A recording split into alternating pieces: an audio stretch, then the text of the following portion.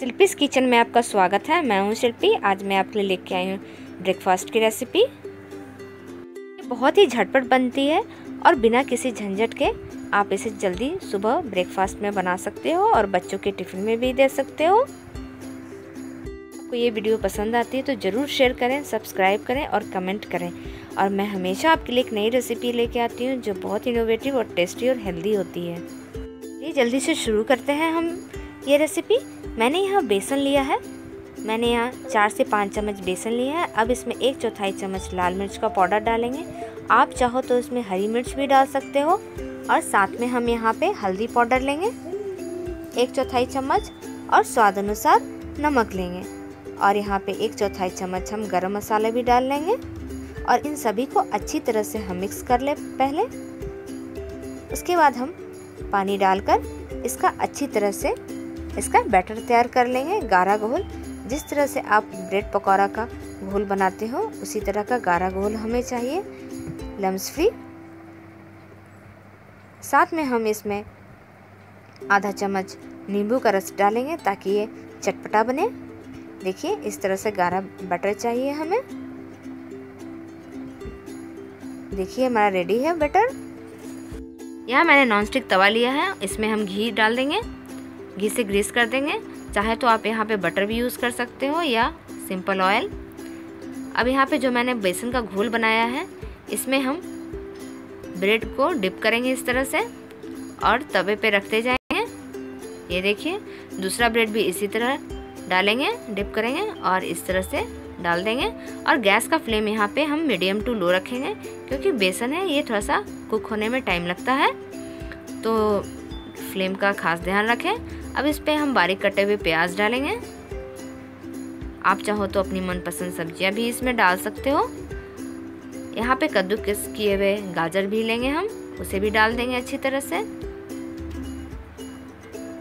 मैं यहाँ ट्विस्ट थोड़ा सा ला, ला रही हूँ थोड़ा सा ट्विस्ट दे रही हूँ। यहाँ पे मैं अनार के दाने ले रही हूँ ये भी डाल देंगे दोनों ब्रेड पे और इसे पे चूल्हा की मदद से हम प्रेस कर देंगे। ताकि जब मैं इसे पलटूँ तो ये बाहर ना निकले। ये देखिए, अच्छी तरह से प्रेस कर दिया है मैंने और इसे अच्छी तरह से हम कुक होने देंगे। अब इस पर हम सीजनिंग ले रही हूँ मैं ऑल पर्पस। अगर आपके पास सीजनिंग नहीं है तो यहाँ पे आप गोल मिर्च का पाउडर और जीरा पाउडर भी यूज़ कर सकते हो। थोड़ा से ब्रेड के ऊपर भी हम घी डाल देंगे, ताकि जब मैं इसे पलटूँ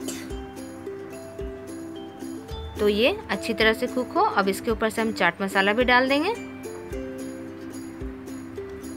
ये देखिए, ये कितनी अच्छी तरह से कुक हो रहा है। अब इसके ऊपर से यहाँ पे हम पनीर डालेंगे। ग्रेट किए हुए पनीर है जो मैंने घर में बनाए हैं। इसके ऊपर से ये हम ग्रेट करके डाल देंगे। आप चाहो तो यहाँ पे चीज़ भी डाल सकते हो, चीज़ का फ्लेवर और भी अच्छा आता है। अगर बच्चे के लिए बना रहे हो तो बच्चे चीज़ बहुत ही पसंद करते हैं।